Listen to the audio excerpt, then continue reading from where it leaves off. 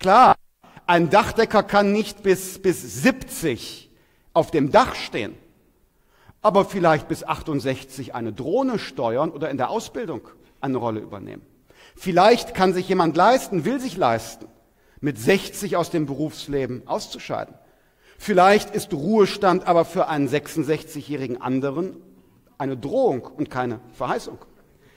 Also wir brauchen einen individuell flexiblen Renteneintritt. Und ich erinnere mich gut an eine Szene während dieser Gespräche.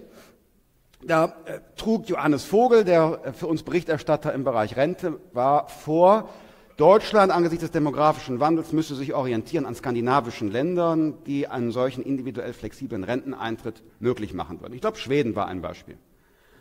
Und dann trug Johannes Vogel das vor. Äh, man sah bei den Gesprächspartnern äh, plötzlich ähm, weiter geöffnete Augen. Offensichtlich machte der Vortrag Eindruck. Ähm, Kopfnicken. Und dann sagte die Frau Bundeskanzlerin, ja, also, also Herr Vogel, was Sie da vortragen, das ist ja, das ist ja hochinteressant. Das, das wäre ja eine, eine äh, beeindruckende Lösung, eine echte Modernisierung, was Sie da vortragen.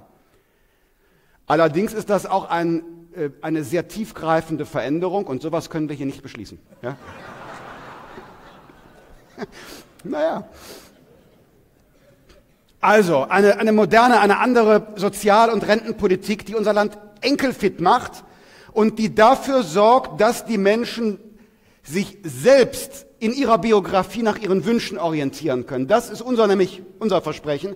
Wir wollen, dass der Staat sich daran orientiert, wie die Menschen ihr Leben führen wollen und nicht, dass die Menschen ihr Leben danach ausrichten müssen, was der Staat für sie für erforderlich und sinnvoll hält.